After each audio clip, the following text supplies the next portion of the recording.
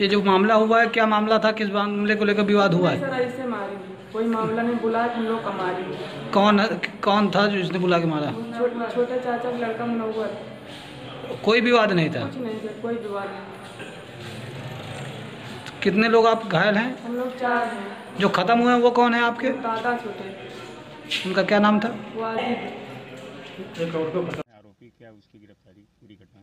ये शिवरतनगंज में आज ये सूचना मिली है कि मुनव्वर नाम का व्यक्ति है। उसने अपने चाचा और चाची को एक शार्प एज्ड वेपन, कुल्हाड़ी या चाकू जैसे हथियार से, धारदार हथियार से मार दिया है और उनकी मृत्यु हो गई है दोनों लोगों की।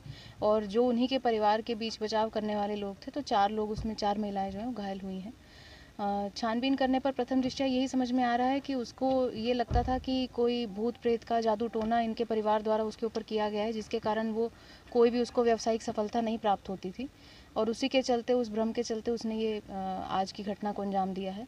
बाकी अगर कोई और विवाद है या कोई और ज़मीनी विवाद तथ्य सामने आता है तो उसमें और विवेचना की जाएगी। मुकदमा शिवरतनगंज में कायम हो गया है और फ़ील्ड यूनिट बुलवाकर और पंचायतनामा और पोस्टमार्टम की कार्रवाई करवाकर उसमें अग्रिम कार्रवाई कराई जा रही है। ऐसी कंडीशन में क्या आरोपी अब तक गिरफ़्तार हो पाया है? गिरफ्तारी का प्रयास जारी है और उसमें टीम्स गठित कर दी गई हैं।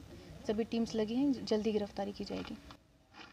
नाम है आपका? आमिर रजा ये जो आपके यहाँ घटना घटी कितने बजे घटना घटी है और कौन कौन लोग हैं जो मर गए हैं और कौन कौन लोग घायल हैं? नहीं हमारा घर तो सुल्तानपुरवा है।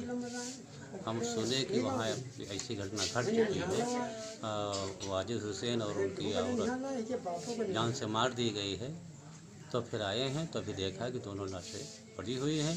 कुछ लोग घायल है अस्पताल में नहीं घटना दोपहर के आसपास की घटना है। साढ़े बारह बजे। फिर आरोपी फरार है और ऐसे में जो है संपत्ति का मामला निकल कर आ रहा है।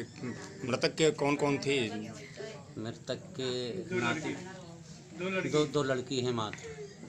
लगभग इनके पास संपत्ति कितनी रही होगी? लगभग पाँच बीघे। हाँ? दादी क्या नाम है आपका दादी जिसने जिसको मारा है कौन है? आपस में रिश्ता क्या था और क्यों मारा था? अब कुछ पता नहीं कहे मारे से मारे से। हमारे को मारे से। मारे से हमारे बाबा को मार के दादी को मारे से हमारे द्वार में सामने बैठे बैठे मार दी हम बच्चे कुछ जाना नहीं कर सकता हुआ तो जी ये ये कितनी बहनें थी?